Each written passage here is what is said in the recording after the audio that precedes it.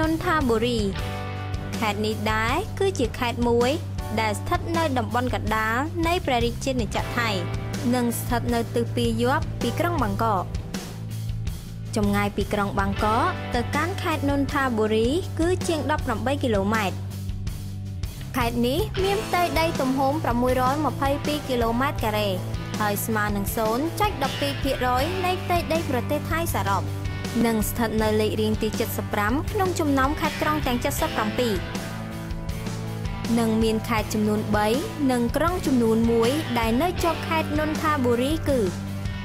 ខាងជើងជាប់នឹងខេត្តផាថុំធានីនិងខេត្តអយុធ្យាខាងលិចជាប់នឹងខេត្តនគរផានំខាងត្បូងនិងខាងកើតជាប់នឹងក្រុងបាងកកប្រជាជនបច្ចុប្បន្នក្នុងខេត្តនេះមានប្រមាណ1លាន250,000នាក់ ហើយស្មើនឹង1.78%នៃប្រជាជនថៃសរុបនិងស្ថិតនៅលេខរៀងទី16ក្នុងចំណោមខេត្តក្រុងទាំង77ដងស៊ីតេប្រជាជននៃខេត្តនេះគឺ2004នាក់ក្នុង1គីឡូម៉ែត្រការ៉េនិងស្ថិតនៅលេខរៀងទី2ក្នុងចំណោមខេត្តក្រុងទាំង77ខេត្តនេះបែងចែកជា6ស្រុក52ឃុំ និង433ភូមិ ក្រុងនន្ទាបុរី គឺជាទីក្រុងនៃខេត្តនន្ទាបុរី បច្ចុប្បន្នក្រុងនេះមានប្រជាជនប្រមាណ255,000នាក់ហើយក៏ជាទីក្រុងមួយដែលមានប្រជាជនរស់នៅច្រើនជាងគេ លេខរៀងទី2បន្ទាប់ពីបាងកកដែលស្ថិតនៅក្នុងខណ្ឌមឿងនន្ទាបុរីនិងមានក្រុងផាថរ៉េតក៏ជាក្រុងដ៏ធំមួយទៀតរបស់ខេត្តនន្ទាបុរីផងដែរដែលមានប្រជាជនបច្ចុប្បន្នប្រមាណ190,000នាក់ ហើយស្ថិតនៅក្នុងខណ្ឌផាត្រេតហើយទង់ជាតិរបស់ខេត្តនេះ គឺមានពីរពណ៌ដែលពណ៌ទឹកសមុទ្រនៅខាងស្ដាំ និងពណ៌ស្វាយនៅខាងឆ្វេងហើយមានរូបឆ្នាំងដីពណ៌មាសមួយ ក្នុងរង្វង់នៅចំកណ្ដាលនៃទង់ជាតិហើយក៏ជារូបស្នាមត្រារបស់ខេត្តនេះផងដែរ ខេត្តនន្ទាបុរីក៏ជាខេត្តមួយក្នុងចំណោមខេត្តដែលស្ថិតនៅក្នុងតំបន់បាងកកឬបាងកក Metropolitan Area ផងដែរបាងខ្វាង Central Prison គឺជាគុកដាក់មនុស្សដ៏ធំមួយរបស់ប្រទេសថៃ ដែលមានទីតាំងនៅក្នុងស្រុកមឿងនន្ទាបុរីនៃខេត្តនន្ទាបុរីនិងមានអ្នកទោសក្នុងគុកនោះប្រមាណ6000នាក់គិតត្រឹមឆ្នាំ2018 ហើយមានចម្ងាយតែ11គីឡូម៉ែត្រប៉ុណ្ណោះពីក្រុងបាងកកទន្លេចៅប្រយ៉ា ជាទន្លេមួយដែលហូរកាត់ខេត្តនេះបែកខាងកើត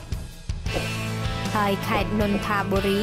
ជាខេត្តដែលដាំនៅផ្លែទុរេន បានល្អជាងគេក្នុងប្រទេសថៃហើយមានប្រភេទផ្លែទុរេន ជាង6ប្រភេទឯណោះដើមឈើនិងផ្កាដែលតំណាងឲ្យខេត្តនេះគឺ The Yellow Flame Tree សីតុណ្ហភាពជាមធ្យមក្នុងខេត្តនេះគឺ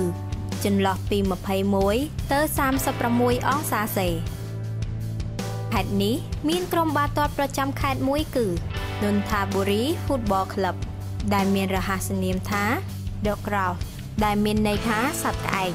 ហើយបានបង្កើតឡើងនៅក្នុងឆ្នាំ2010និងមានអាវពណ៌ស្វាយខោខ្មៅស្រោមជើងខ្មៅជាឯកសន្តានដើម ហើយអាវសខោស្វាយស្រោមជើងស ជាឯកសន្តានសាគូមន្ទីរពេទ្យដែលធំជាងគេក្នុងខេត្តនេះគឺ មន្ទីរពេទ្យរដ្ឋប្រណាងខ្លៅ Hospital និងមានក្រែសម្រាប់សរុបប្រមាណ515ក្រែហើយស្ថិតនៅក្នុងក្រុងនន្ទាបុរីហើយមានផ្លូវធំធំ សម្រាប់ធ្វើដំណើរទៅកាន់ខេត្តនេះដូចជាផ្លូវលេខ9ផ្លូវលេខ345 ផ្លូវលេខ3021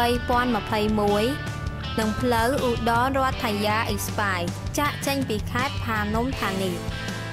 ផ្លូវលេខ340ចាក់ចេញពីខេត្តអយុធ្យាផ្លូវលេខ346និងផ្លូវលេខ1011ចាកចេញពីខេត្តនគរផានំ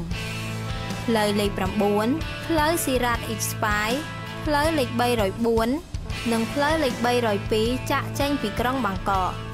និងមានផ្លូវផ្សេងៗមួយចំនួនទៀត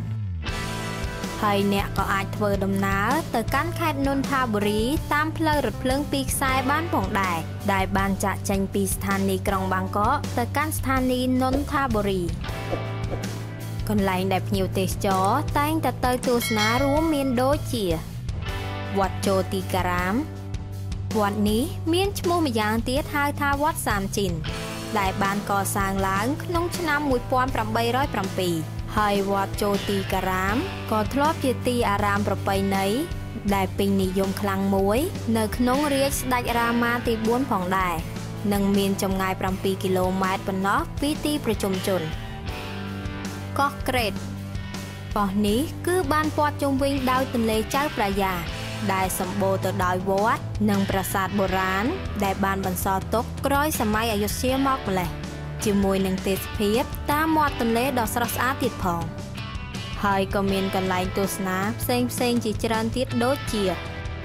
សារមន្ទីរនន្ទាបុរីឧស្សាហកាញ្ចនាភិសេកវត្តសង្កាឋាន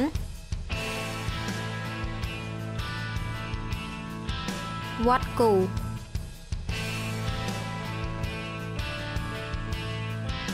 អរគុណសម្រាប់ការទស្សនាហើយនៅវីដេអូក្រោយយើងនឹងនិយាយអំពីខេត្តក្រុងប្រទេសថៃបន្តបន្តទៀត។